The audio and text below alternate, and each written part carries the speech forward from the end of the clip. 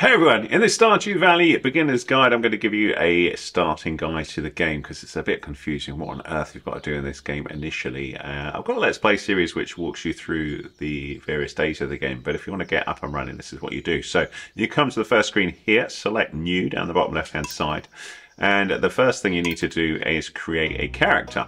Now the character, you can just hit the dice here if you want to have a randomized character. So if we did that, that would change our little character here. So we can see there, check it out.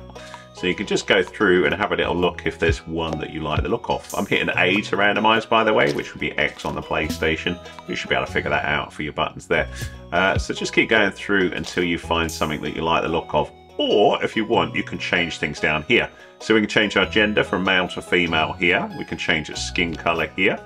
Uh, and I'm just using the left stick to move up and down. And then I can go through different hairstyles here, uh, different shirts and all sorts of stuff all the way through here. Uh, so lots of different things we can see, uh, various different accessories. Uh, on the right hand side, what we need to do is create a name. So you can give your character whatever name. I'll just do a short version of my online name here. The farm, bear in mind what it's going to do is put farm after it. So don't call it, say, cozy farm uh, in this box because it's going to add farm afterwards. So just call it cozy and then you can see to the right of there it says farm. So it's going to refer to this as cozy farm. Favorite thing, you can put in whatever you like. So I'm going to put in a guitar. I like my guitar. Is, is it my favorite thing? I don't know. But I like guitar, so that'll do. Uh, animal preference. This might refer to something in the game where you get a pet. I'm not sure whether it does or it doesn't, but if you're interested in that, pick whether you prefer a dog or a cat or whatever, and that may be what appears on your on your farm. I'm not sure, um, but yeah, it, I my farm I had a dog appear, but I did pick my animal preference as dog. You can change the eye colour, the hair colour, and the pants colour. You've got hue, which is the general colour. Uh, you've got saturation, uh, so how deep that colour is, how intense, and then the brightness of it. So you can see I'm adjusting the eyes of my character here. You can do the same thing with hair colour, pants colour. You can also choose to skip the intro, which I'm going to do in this case because I don't want to spoil the game for you. Um, but that skips the whole intro sequence, uh, which can be quite nice. The other thing we've got on the right hand side here are different types of farms. So you can go with a standard farm, which I recommend for beginners, or if you're interested in more water around your farm, you go for the Riverland farm. And you can see here it tells you a little bit about each of these as we go through. So uh, all these sorts of things here, so lots of stuff here. But if it's your first time, I suggest you just go with a standard farm and you'll probably have another go at it at some point. Lastly, on the left hand side, there are some additional settings you can have a little look at. Generally, you can leave these alone though, but you can see uh, some information here.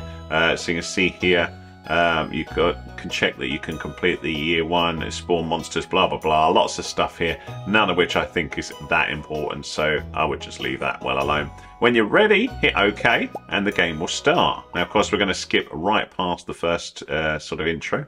And you can see the game gives me some hints on the left-hand side what to do. So I've got move and then check for A. Uh, and you should see different options there for your character. So as I come out here, there's a little present. I move up to it and press A. And that's going to give me something. And you can see down the bottom left-hand side, it says parsnip seeds.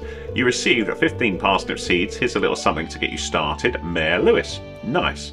So A again we'll get rid of that.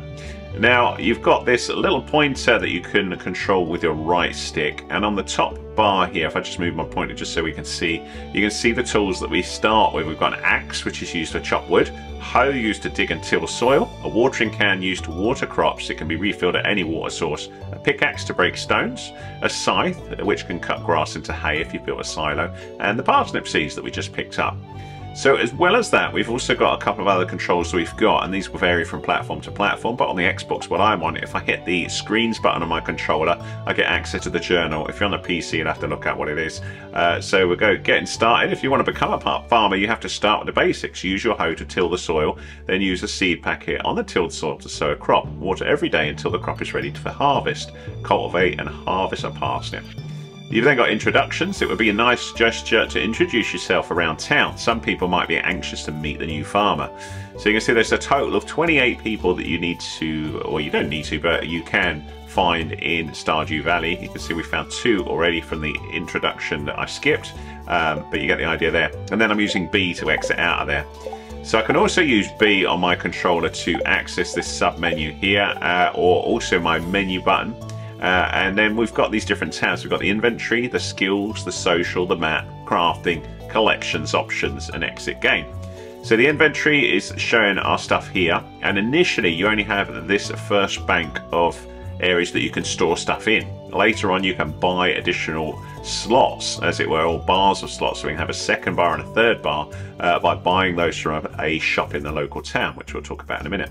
You can also see, we can see our current funds and our total earnings. We move over to the skills, we can see how skilled we are in these different things. So we've got farming, mining, foraging, fishing, and combat. And these will increase as we progress in the game and our, our experience increases by doing each of these activities. Over to next to this, we've got the social tab, which is basically your relationship with each of the characters that you find. So you can see we've got characters here we haven't discovered, but we can also talk to these, give them gifts, and that will improve our rating with each of them. You've then got the map. So the map shows our farm area here. Uh, and then all of these different things, including the local town, which we've got over here, which we can explore. Then you'll be going forwards and backwards from your farm over to here quite regularly to buy supplies and also to sell some of your goods during the day. So we got that. Uh, sorry, I've skipped out of there. We've also got on here the crafting menu. So these are things that we can craft, and as our experience gains uh, and we do more stuff, we will get access to more things that we can actually build. So that's our crafting thing there. I'll try and show you a bit of that in a minute. You then got collections, so there's various different things. We've got fish and artifacts, minerals, cooking, letters, and you'll get different ones of these as you progress through the game, or whether you dig things up in the woods and stuff like that. You've got your options, so you've got some various different controls here that you can uh, adjust here. Nothing here that's too exciting, but you know you can turn things off like the controller vibration. If that annoys you, you can lower the zoom level, you can turn off backgrounds and lower the music and all that sort of stuff. Um, and lastly, we can exit the game and it's here where we could go back to the title, but I don't want to do that.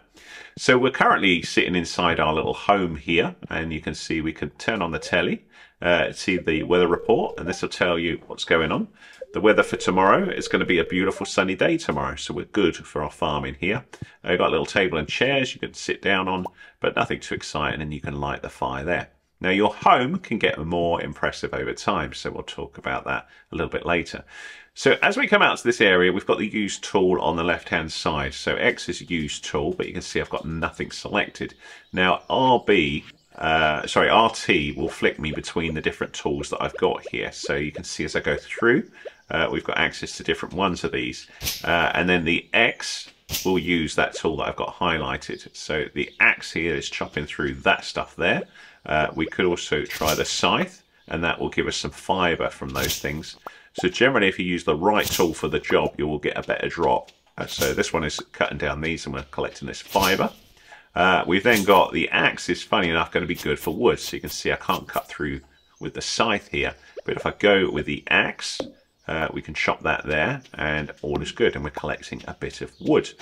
So the other one that we've got here, we've got a hoe and we've also got a pickaxe. Now pickaxe, you can see, uh, funny enough, pick stuff, but for stone. And basically what we've got here, this farm area, is all of ours to plant our crops and farm away on and you know, earn our crust in the day.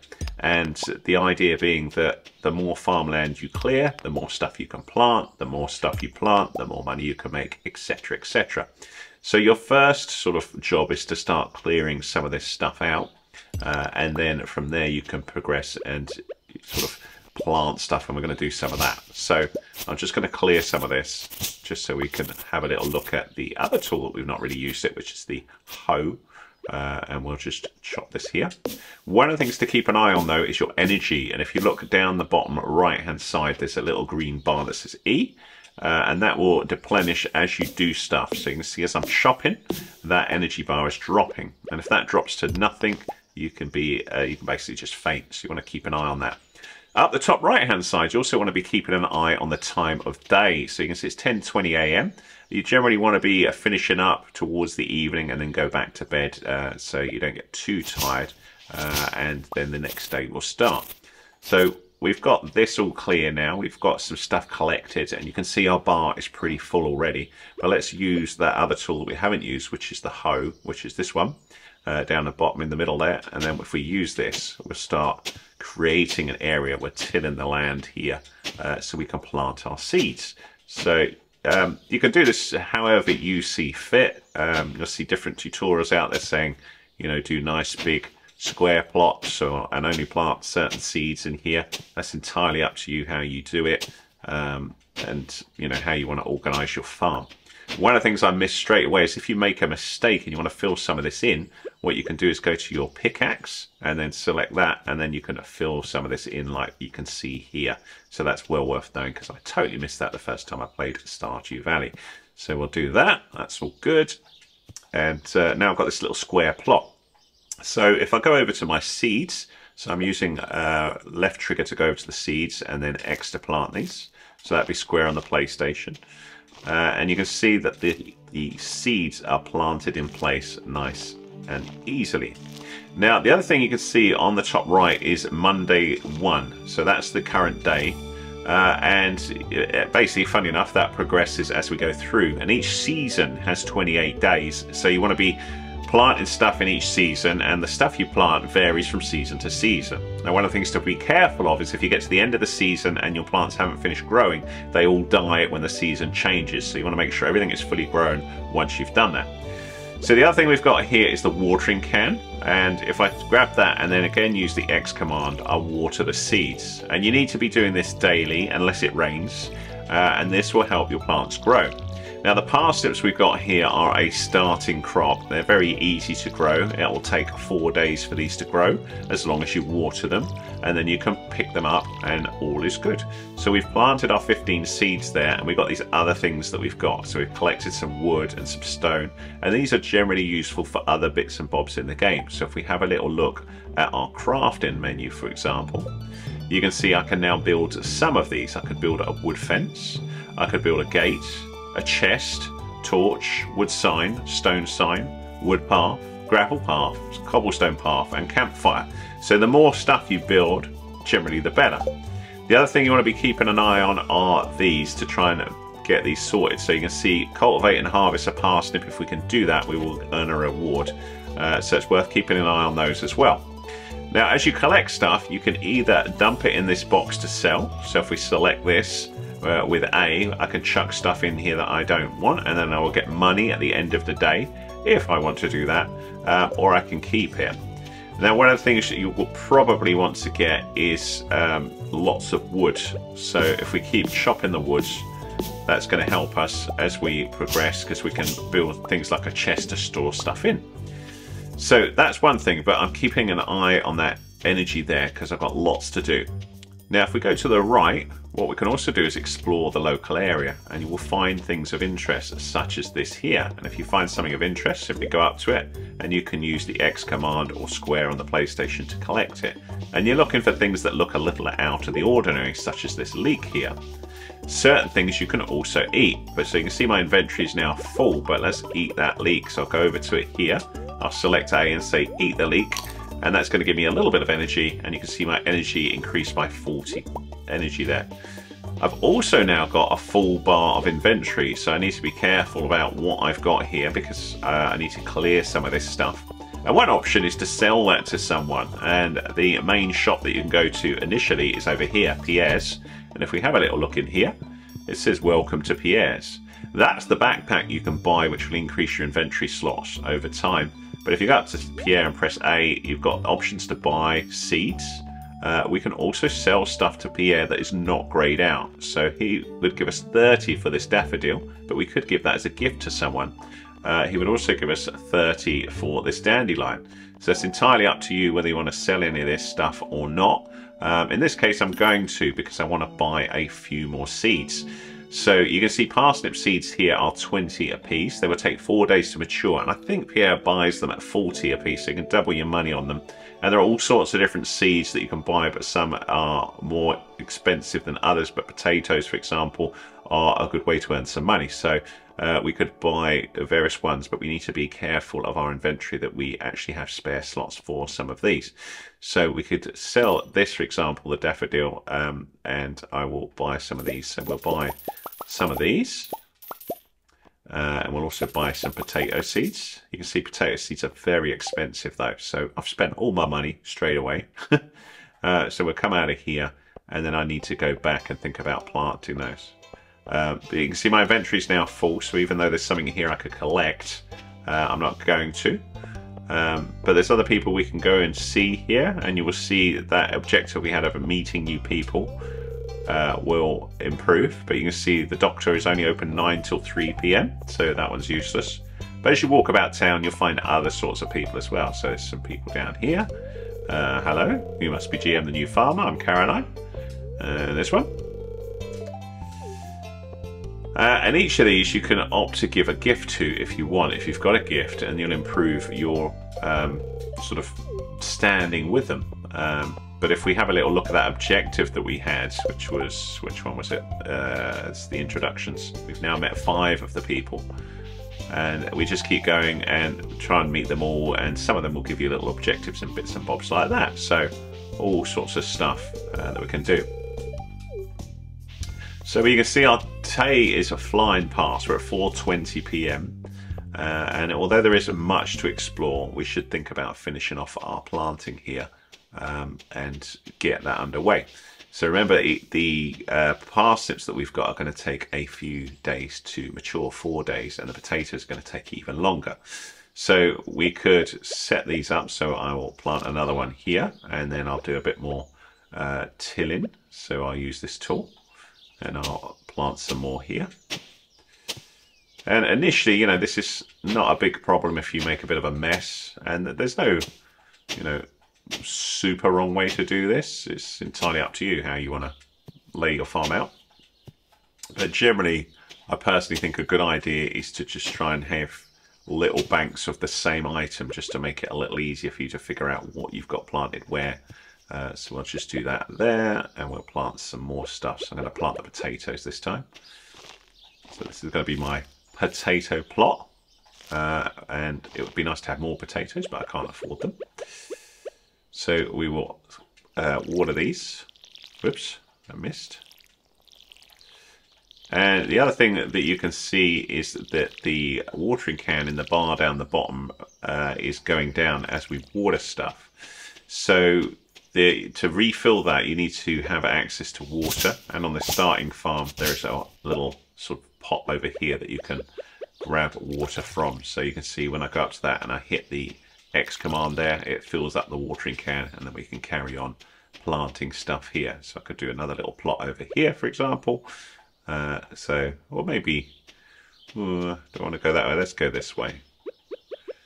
So I'm keeping an eye on that energy, so it's getting late, uh, but I would quite like to plant these parsnips just before we finish up, so we'll do that. So we'll do that, and uh, just till this little bit, like so. And you can see this soon gets easier as you understand the controls. There's a whapping big tree there.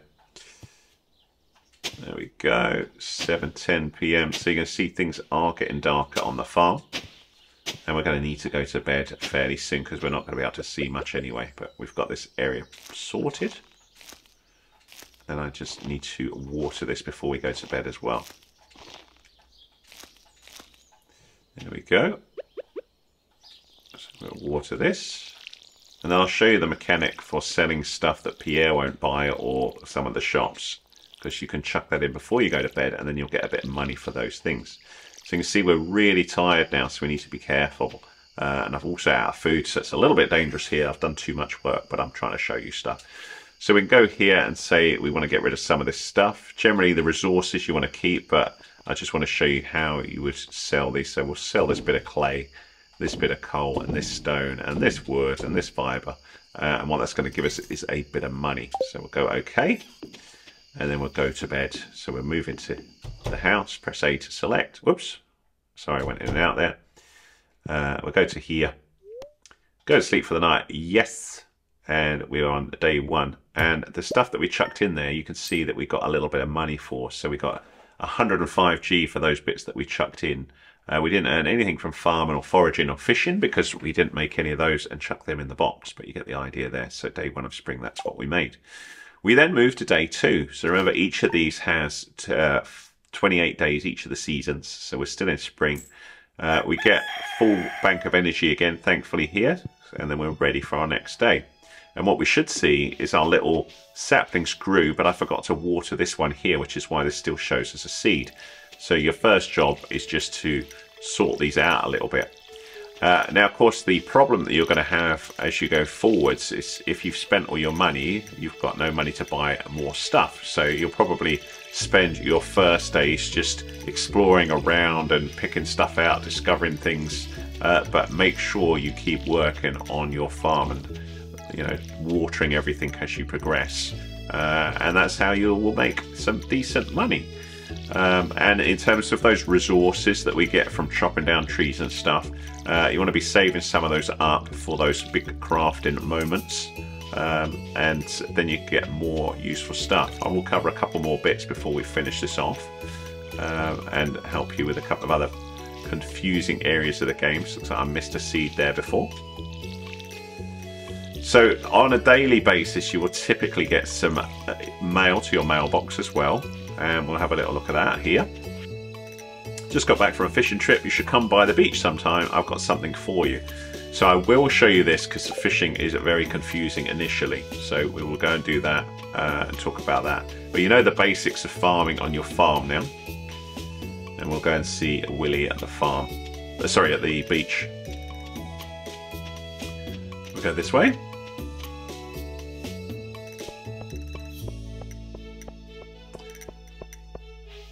And you can't really get in trouble with any of the houses as far as I'm aware. There's also a notice board here that might tell you some info as well, so you can see what's coming up on the calendar. So that's where we are at the minute.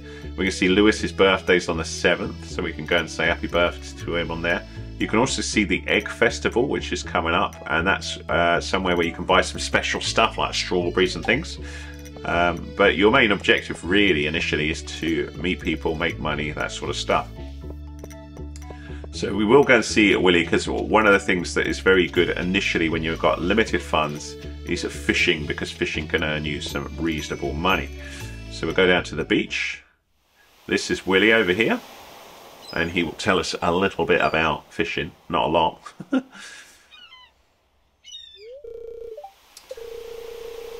so I'll just skip past that because it's just really the, the fishing mechanics that I want to show you. Come on, Willy, give me the fishing rod. Thank you, my friend. Now, fishing totally confused me to begin with, so I'm going to show you how this works.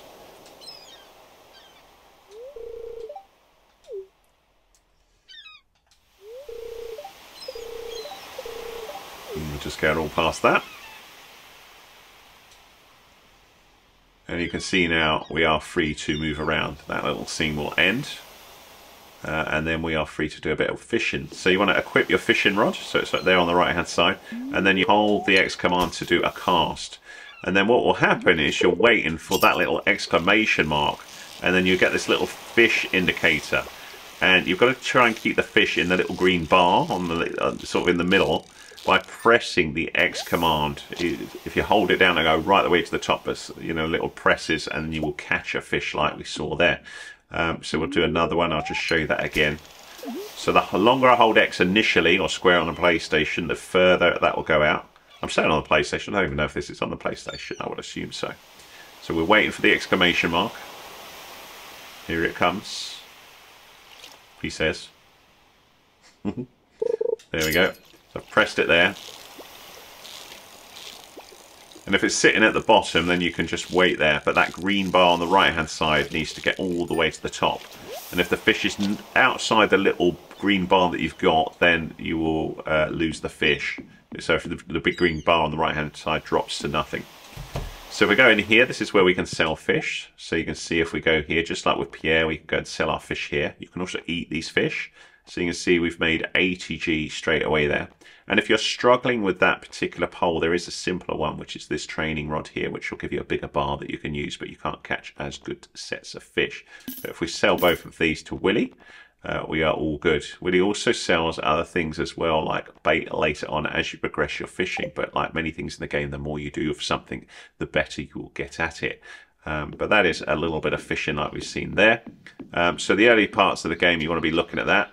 It's also worth exploring areas like this beach here, so you will find things, whoops, not that, uh, such as these, and you can sell these to Willy as well. And if you see little wiggly worms like this from time to time, this is a useful area to dig up. So get your hoe, and you will typically find something like this lost book. And you can take that to the museum, and, and uh, the more of these you find, the more rewards you will get. So I will just show you that as well.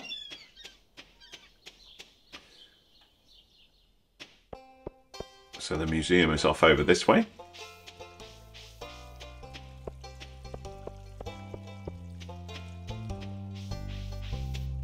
And it's here.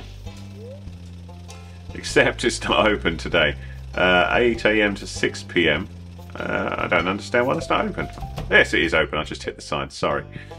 So there's these books here. Missing books. So if we talk to Gunther here, um, sometimes he may say he needs it, but we've dropped that book there, so that's all sorted now. But also, if you find things with the worms, sometimes you'll find something interesting and you can give them to Gunther, and the more you get, the more stuff you will get. Um, so, this is a place where you can upgrade your uh, sort of tools over time, but it's quite expensive. So, this guy here. Um, so you can upgrade your tools and you can see here. So this will enable you to chop down bigger things like bigger trees. Um, this one is uh, can be refilled at any water source. Um, used to break bigger stones, that sort of stuff. So you can upgrade that. Also, if you get geodes, which are things that you find with the worms, sometimes they look like a, a bit of an egg. Uh, you can sort of use them, or rather, get the blacksmith to break them open for you there. Uh, so that's all good, really. Uh, I'm just trying to think whether there's anything else I want to give you in this beginner's guide to get you up and running. Um, the storyline will progress automatically uh, and it will tell you what to do so you'll get more objectives appear over time. Um, but that is the basics, I think, of the game. So hopefully that gives you enough to get started. Uh, so you want to be just doing a bit of fishing initially, planting, etc., etc. Keep an eye on that energy um, and keep clearing your farm. And then you may discover more things as you clear the farm as well. And you want to be pr progressing and planting as much stuff as you possibly can uh, to maximize your money and clearing all of this stuff. So we'd go back to here we'd keep clearing like this and occasionally you may find some more stuff um, on your farm that you can uh, you know dig up and use. I should probably just quickly show you crafting as well. So we'll just craft something very simple so we'll just put the pause button on and go over to where is crafting? I've lost it. Uh, where the heck is it? Uh, it's not there. What the heck? Where is it? Oh, I'm in the wrong. Oh no, that was it. Sorry. It's that one. So these are the things, but because I've got no stuff, that's why I was going past it. I need to collect some stuff because I just remembered I sold it all, didn't I? So if we grab a bit of uh, wood, like that,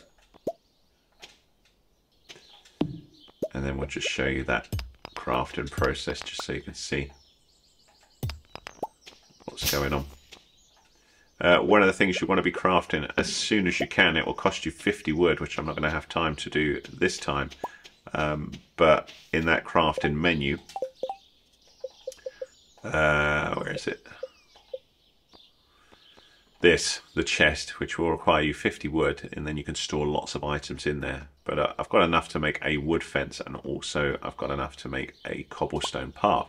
So each time, uh, uh the problem I've got is my inventory is full. Uh, so now I've got a bit of a trouble because I can't store this anywhere. I'm going to have to bin something. Uh, so I don't really want to bin anything really. That's quite annoying. So yeah, you want to be careful of that because otherwise you waste a bit like that. But at least we've got a bit of cobblestone there that we can now lay So we put that on the floor there, and that's how we do it. But that's why you want the chest first, so you don't have to keep wasting things, uh, and then just progress from there. So I hope that beginner's guide was useful too. I appreciate that was a lot of information, but hopefully it helped out. If it did, give us a thumbs up, please. Much appreciated. Any comments welcome. I'll see you again in another video. Anything that you're stuck on in Stardew Valley, do let me know. Cheers.